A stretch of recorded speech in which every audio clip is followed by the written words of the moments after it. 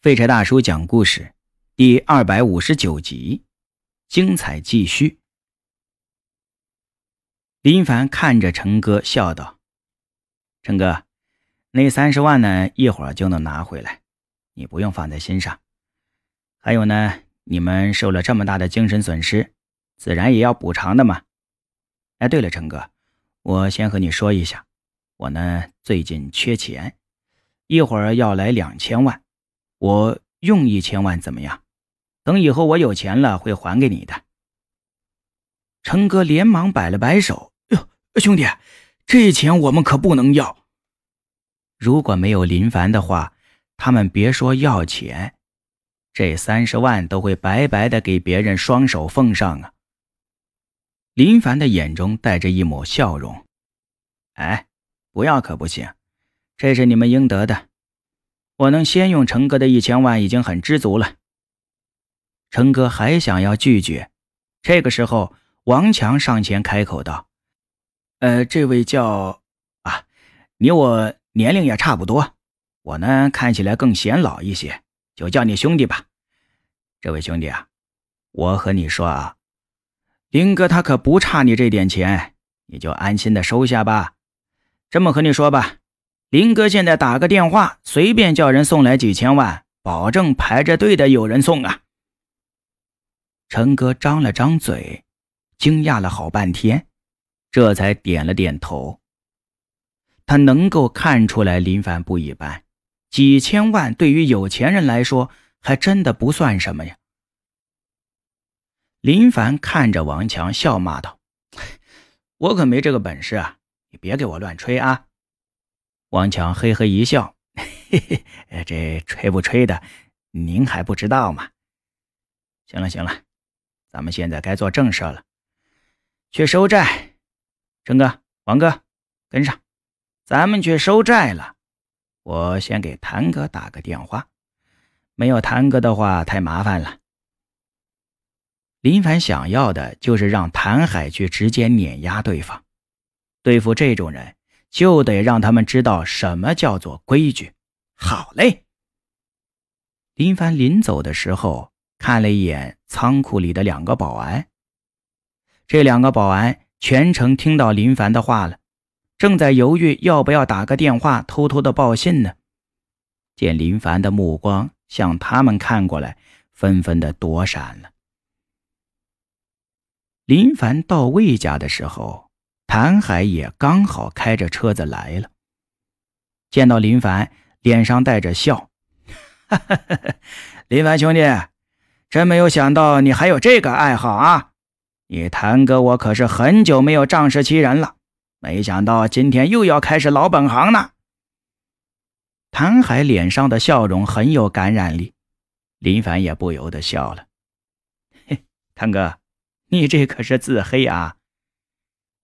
王强一直站在林凡身边，跟着嘿嘿一笑：“林哥，这你就不知道了吧？谭哥在省城的名声那是怎么出来的呀？就是顶着仗势欺人的名头啊！”嘿 嘿林凡看着谭海，眼中带着惊讶，没想到谭海这不是自黑，还真是干这种事儿啊！谭海被林凡的目光看得很不舒服，不由得老脸通红。啊，哦，这不是年轻的时候不懂事吗？啊，现在不一样了，啊，现在不一样了。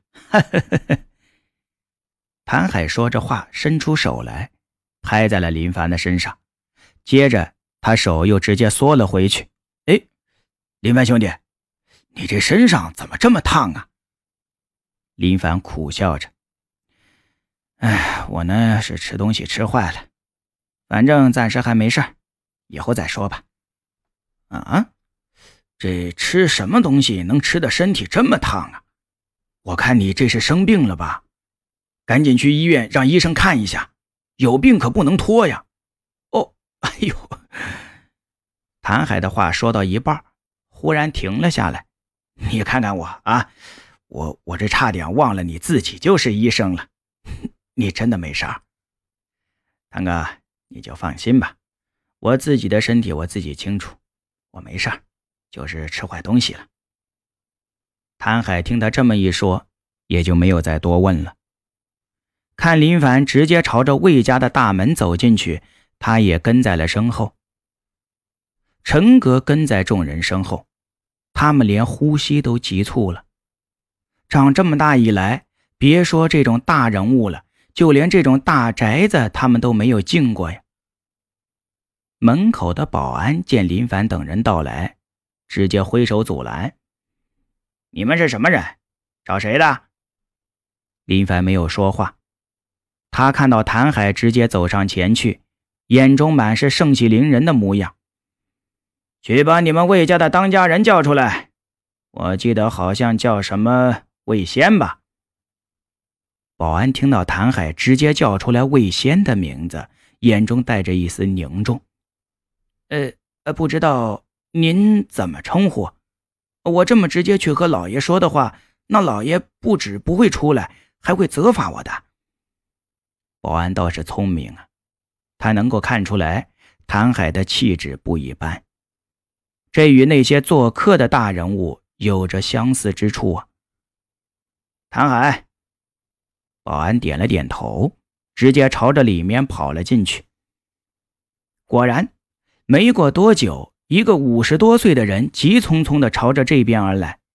这个人就是魏家的当家人魏仙。他看到谭海的时候，脸上堆满了笑意，伸出双手。哎呦，谭世侄啊！哎呀，我听到有人说你来了，我还以为听错了呢，没想到谭世之还真的来了！哈哈哈！来来来，里面请。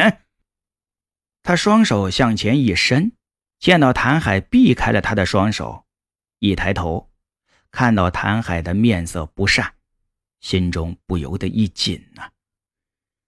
世职这个称呼，我可担当不起呀。谭海说着。重重的叹了口气。哎呀，我听说你们魏家现在很厉害呀。林凡站在谭海身后，见谭海这副模样，忍不住多看了两眼。这才是谭海的本性吗？王强见林凡眼神怪异，想笑却没有笑出来，他上前解释道：“林哥。”看到没有，谭少爷这是收敛了，当年可比这狂多了。啊，呀，谭世之可别这么说呀。呃，不知道老头子我是不是无意之中得罪了谭世之啊？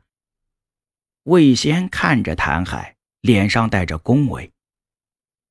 以前的谭海虽然有些怕，但也不至于惧怕呀。现在谭海却不一样了，他已经搭上了燕京大人物的线儿了，恐怕谭家有一飞冲天的趋势啊！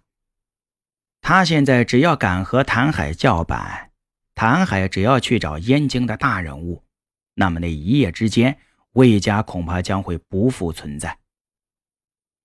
谭海看着魏贤，嗯，得罪嘛，倒是和我没关系。魏贤一口气还没有松下来，就听到谭海继续说道：“不过呢，虽然没有得罪我，但是却得罪了我兄弟。你可是知道我是最讲义气的吧？得罪我兄弟，这可比得罪我严重多了。”魏仙的心猛然沉了下去，脸色有些发白。他早就知道谭海找他来。绝对没有好事情啊！